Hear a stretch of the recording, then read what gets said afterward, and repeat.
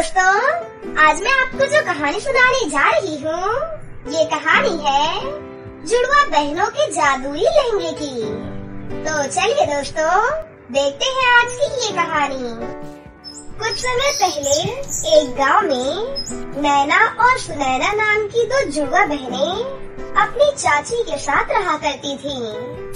क्योंकि बचपन में ही नैना और सुनैना के माता पिता की सड़क दुर्घटना में मौत हो गई थी। इसलिए नैना और सुनैना अपने पिता के छोटे भाई श्यामलाल के घर पर ही रहा करती थी। नैना और सुनैना की चाची मोहिनी बहुत ही चलाक और चतुर थी।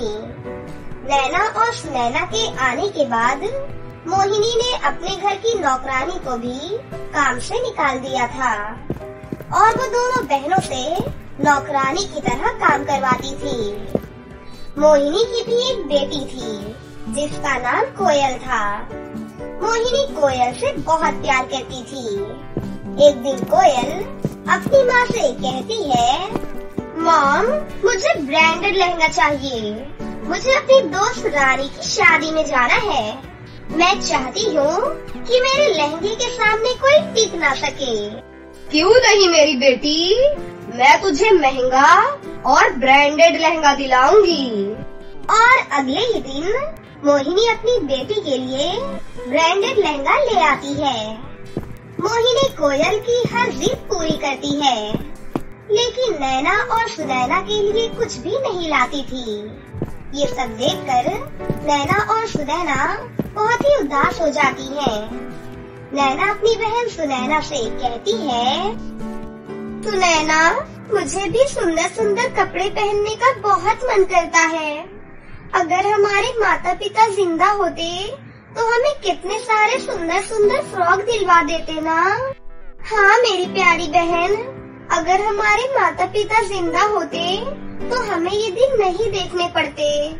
लेकिन कोई बात नहीं ऐसे ही दिन बीत रहे थे। एक दिन श्यामलाल शहर से वापस आता है और वो नैना और सुनैना के लिए सुंदर सुंदर कपड़े लेकर आता है और कोयल के लिए भी एक सुंदर सी फ्रॉक लाता है कि तभी कोयल की सुंदर फ्रॉक देखकर नैना बोलती है, चाचा जी, मुझे ये फ्रॉक अच्छी नहीं लग रही। मुझे कोयल दीदी की वो ब्लैक वाली फ्रॉक बहुत अच्छी लग रही है। कोई बात नहीं मेरी प्यारी बच्ची। तुम ये ब्लैक फ्रॉक ले लो। कोयल इस बात से बहुत गुस्सा हो जाती है कि नैना ने उसकी फ्रॉक क्यों ली? कोयल और मोहिनी नैना के ऊपर आग बगोला हो जाती है। लेकिन वो कुछ भी नहीं कर सकती थी क्योंकि जब तक उनके चाचा जी घर में रहा करते मोहिनी, नैना और सुनैना से अच्छा बर्ताव ही किया करती थी। लेकिन एक दिन कोयल नैना से बदला लेने के बारे में सोचती है और वो नैना से बोलती है ओ नैना, क्या तुम किचन से चाकू लेकर आओगी? वो मुझे सेब काटना है। हाँ क्यों नहीं? मैं अभी लाकर देती हूँ। नैना किचन से चाकू लाकर जब कोयल के हाथ में दे देती है तो कोयल जानबूझकर अपना हाथ खुद काट लेती है और रोने का नाटक करने लगती है और ज़ोर ज़ोर से चिल्लाकर कहती है, मर गई रे! अरे माँ, पिताजी, जल्दी आइए।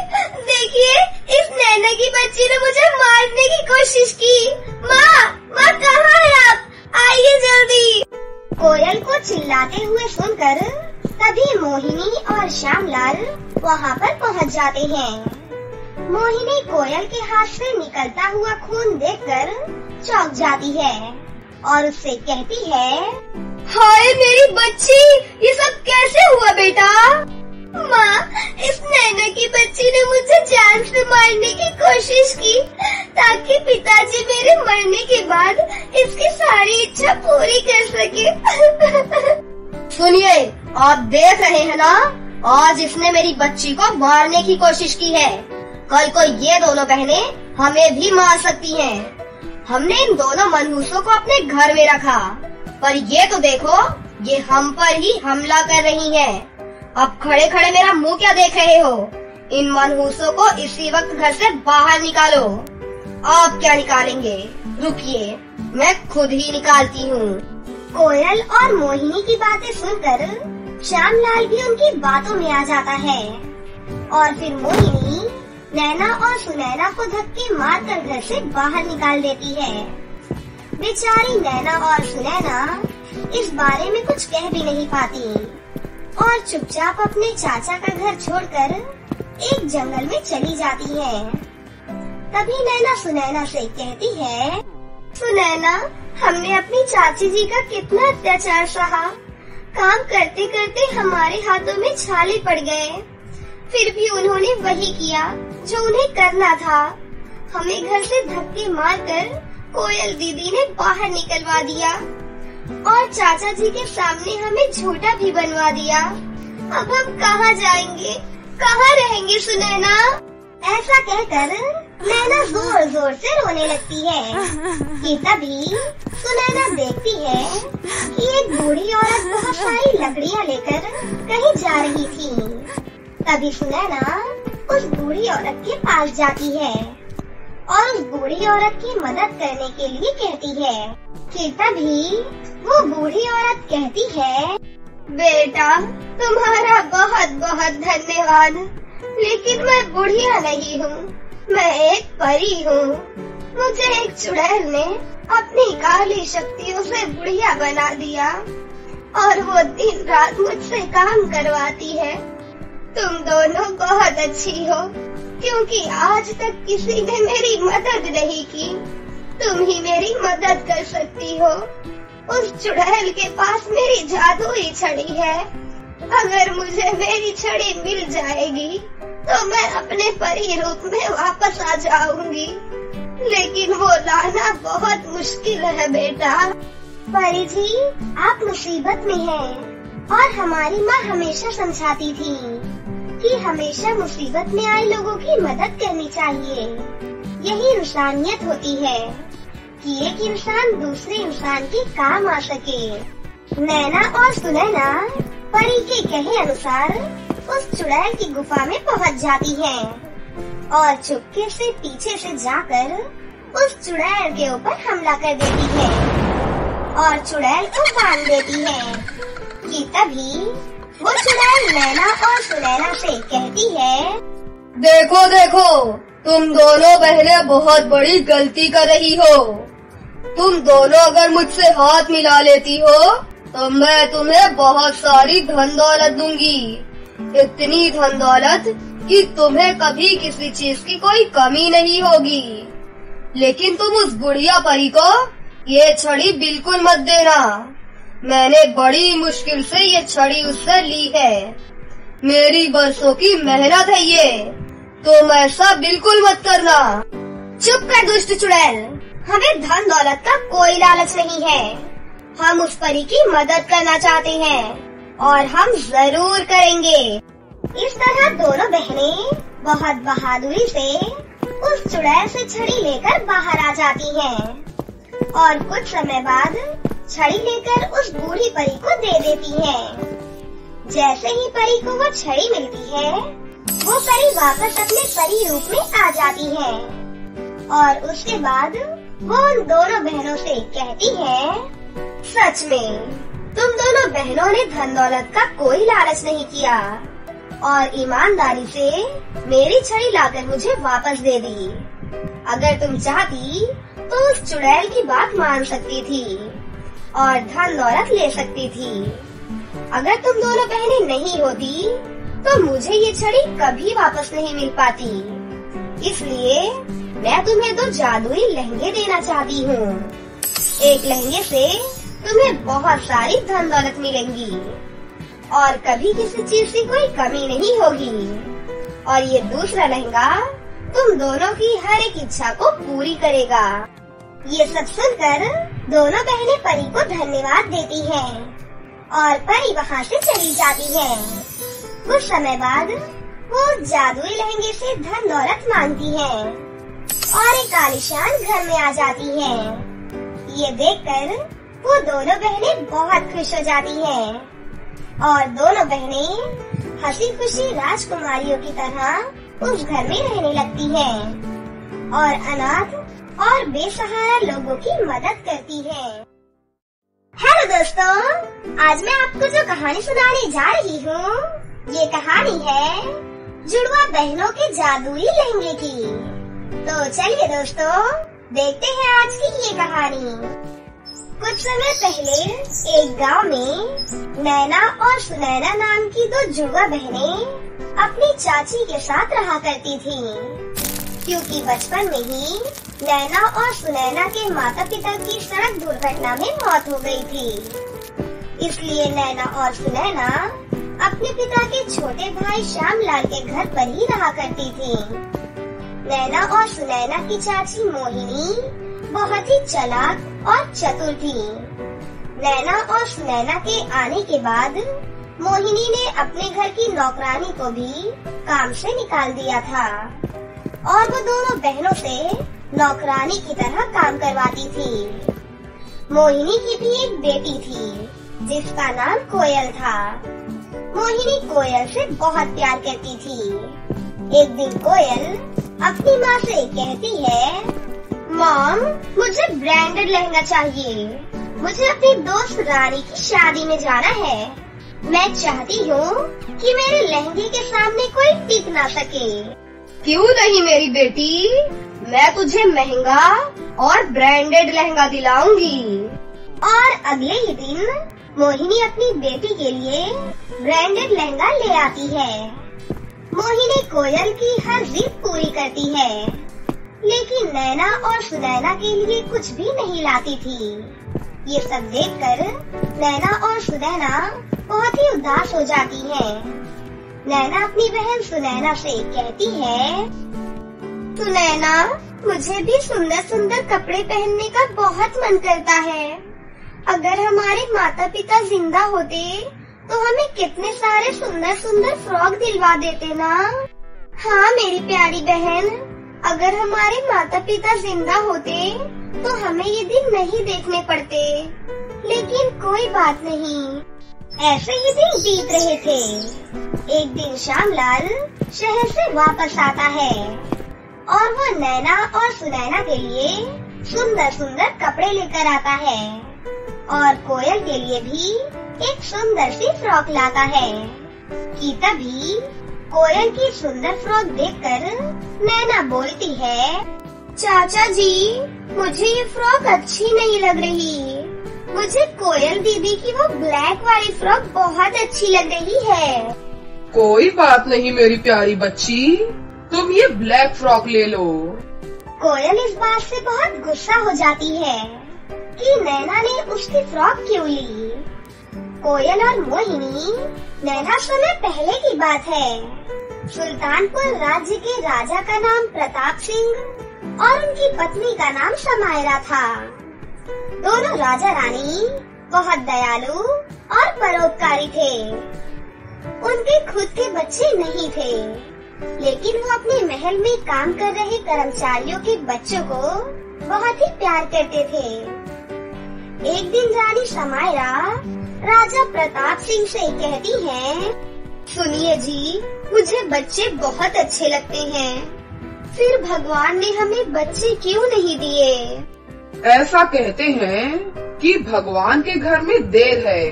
अंधेर नहीं, देर से ही सही, लेकिन हमें बच्चे ज़रूर होंगे। ऐसे ही दिन बीत रहे थे। एक दिन दोनों राजा रानी प्रजा के बीच जाते हैं। वही दोनों देखते हैं कि एक जालिम औरत एक छोटे से बच्चे पर अत्याचार कर रही है। रानी उस औरत के पास जाती है।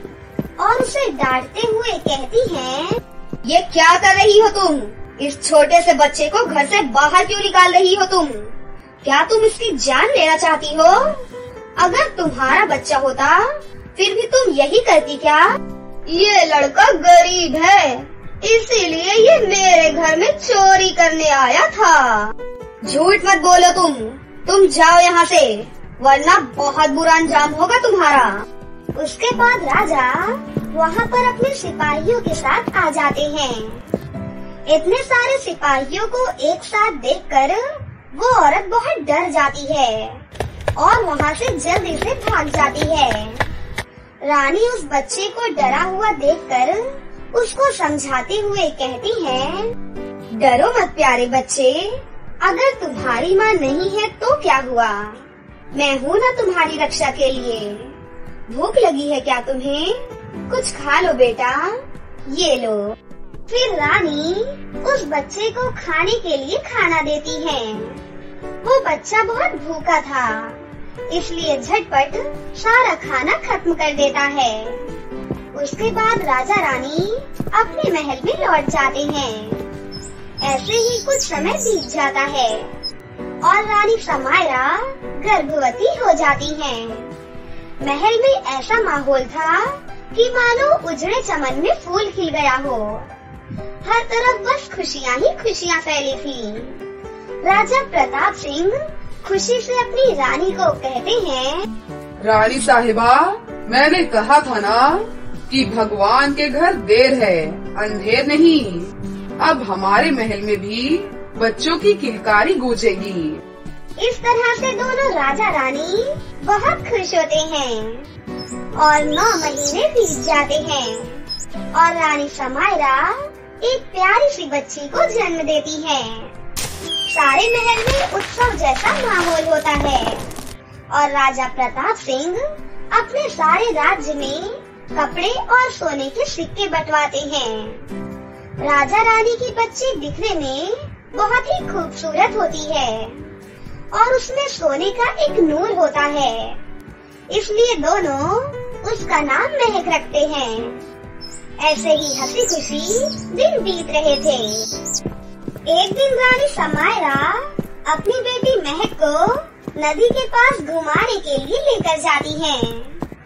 अचानक बहुत तेज बारिश होने लगती है, जिससे रानी का पैर फिसल जाता है और वो सीधा नदी में जा गिरती है। रानी बार बार नदी से निकलने की कोशिश कर रही थी, लेकिन उन्हें तैरना नहीं आता था। इसकी वजह से वो नदी से बाहर नहीं निकल पा रही थी। रानी बार बार कोशिश करके थक जाती है, क्योंकि उसकी मदद करने वाला वहाँ पर कोई भी नहीं था। हे भगवान, अब मैं क्या करूँ? मैं नदी से बाहर कैसे निकलूँ? वहाँ मेरी बच्ची अकेली खड़ी है। और यहाँ मैं ज़िंदगी और मौत के बीच लड़ रही हूँ। कुछ दूरी पर खड़ी छोटी सी राजकुमारी महक रानी को देख रही होती है। अपनी माँ को इस तरह मुसीबत में देखकर राजकुमारी महक भी रो पड़ती है। महक अपनी माँ को बचाने के लिए नदी की तरफ़ बढ़ती है। लेकिन तभी रानी समायरा कहती है, नहीं महक बेटा, तुम यहाँ मत आना। यहाँ खतरा है। मेरी बच्ची, तुम जल्दी से महल में चली जाओ। अपनी माँ के मना करने के बाद, महक एक कदम भी आगे नहीं बढ़ाती है। और रानी समायरा संघर्ष हार जाती है। और नदी में बहते बहते बहुत दूर तक चली जाती है। महक भागते भागते महल में जाती है। और अपने पिता को रोते हुए सारी बातें बताती है। पिताजी माँ नदी में बह रही है। आप जाओ और उन्हें अभी क्या भी लेकर आओ। माँ के बिना मैं नहीं रह पाऊँगी पिताजी। राजा अपने सिपाहियों के साथ नदी के पास जाते हैं। लेकिन उन्हें रानी समायरा कहीं भी नज़र नहीं आती है। राजा बहुत देर तक रानी को ढूंढते रहते हैं, लेकिन रानी कहीं भी नहीं मिलती। राजा निराश होकर अपने महल वापस लौट आते हैं। तभी राजकुमारी पूछती हैं, पिताजी, आप माँ को लेने गए थे ना? फिर माँ कहाँ है? पिताजी, मुझे बहुत भूख लग रही है, इसलिए मुझे माँ के हाथों से ही खाना खाना है। राजा राजकुमारी को कोई भी जवाब नहीं देते हैं और उदास होकर वहाँ से चले जाते हैं। महल में हर तरफ़ उदासी छा गई थी। राजा प्रताप सिंह कुछ दिनों तक उदास रहते हैं, लेकिन वो खुद को समझा लेते हैं। वही दूसरी तरफ़ महक का रो रो कर बुरा हाल था। अपनी बेटी की ऐसी हालत देखकर राजा प्रताप सिंह दूसरी शादी करने का फैसला करते हैं।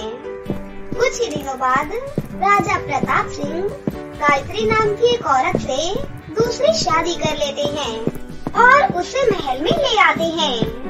राजा राजकुमारी महक से कहते हैं राजकुमारी महक ये आपकी नई माँ है बेटा।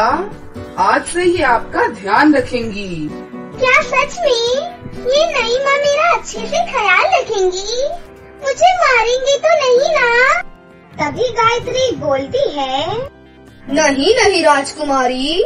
मैं आपको बिल्कुल माँ जैसा प्यार दूँगी। आपका पूरा ख्याल रखूँगी मैं। कुछ दिनों तक गायत्री राजकुमारी महक से बहुत अच्छा व्यवहार करती है। लेकिन उसके बाद वो अपना असली रूप दिखाना शुरू कर देती है। गायत्री समय से राजकुमारी महक को खाना नहीं देती थी और उसका बिल्कुल भी ध्यान नहीं रखती थी। यहाँ तक कि गायत्री अपने काम भी राजकुमारी महक से ही करवाती थी। एक दिन गायत्री राजा से कहती है राजकुमारी महक तो बहुत ही शरारती है। यहाँ सारा दिन महल में उछल कूद करती रहती हैं। इनकी वजह से तो मैं सो भी नहीं पाती। राजकुमारी मेरी एक बात भी नहीं सुनती है। गायत्री की बात सुनकर राजा राजकुमारी से कहते हैं राजकुमारी? अपनी माँ की बात सुना करो बेटा। ये जो बोलती हैं, आपके अच्छे के लिए ही तो बोलती हैं। राजा के वहाँ से जाने के बाद गायत्री राजकुमारी महक को एक जोरदार थप्पड़ लगा देती है। राजकुमारी महक चुपचाप ये सब सहन कर रही होती है। कुछ देर बाद महक बोलती है, पिताजी तो कह रहे थे कि आप मेरी माँ हो। और मेरा बहुत अच्छे से ख्याल रखोगी। लेकिन आप कैसी माँ हो? मेरी माँ मुझे कभी नहीं मारती थी। वो तो मुझे हमेशा अपनी जान से भी ज़्यादा प्यार करती थी। अगर मैं कोई गलती करती थी तो वो मुझे माफ़ भी कर देती थी। तुझे अपनी माँ की बहुत याद आ रही है ना? हाँ आ रही है। रोज आती है मुझे अपनी माँ की याद। ठीक है। मैं तुझे तेरी माँ के पास पहुँचा देती हूँ। वहाँ तुझे माँ का असली प्यार मिलेगा। इसके लिए तुझे मरना पड़ेगा। इतने में एक आवाज़ आती है और वो आवाज़ रानी समायरा की होती है। मेरे जीते जी मेरी बच्ची का कोई बाल विवाह नहीं कर सकता। राजकुमारी महक पीछे मुड़कर देखती है। और अपनी माँ को देखकर वो बहुत ही ज़्यादा खुश होती है। माँ, आप आ गई, माँ। मेरी माँ आ गई। आप इतने दिनों तक कहाँ थी, माँ? मेरी प्यारी बच्ची, मैं मौत के जबड़े में जाकर वापस आई हूँ। उस दिन एक मछुआरे ने मुझे बचा लिया था। मैं कुछ दिन तक उसके घर में ही थी और उसी ने मेरा इलाज करवाया था। अब आप आ गई हो ना, माँ? अब हम फिर से हँसी खुशी से रहने लगेंगे। तभी वहाँ पर राजा प्रताप सिंह आते हैं। महल के मंत्री और राजा के करीबी राजा को गायत्री की असलियत के बारे में बताते हैं कि वो किस तरह से राजकुमारी महक से बुरा व्यवहार करती है और दिन रात उससे बहुत काम करवाया करती है। गायत्री वही चुपचाप से सर झुकाकर खड़ी रहती है। मेरी बच्ची मुझे सारी असलियत के बारे में पता चल चुका है।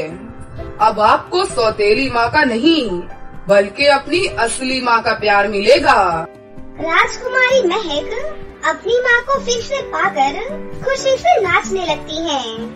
उस दिन के बाद से फिर से महल में सब कुछ ठीक हो जाता है और सब हँसी खुशी से रहने लगते हैं।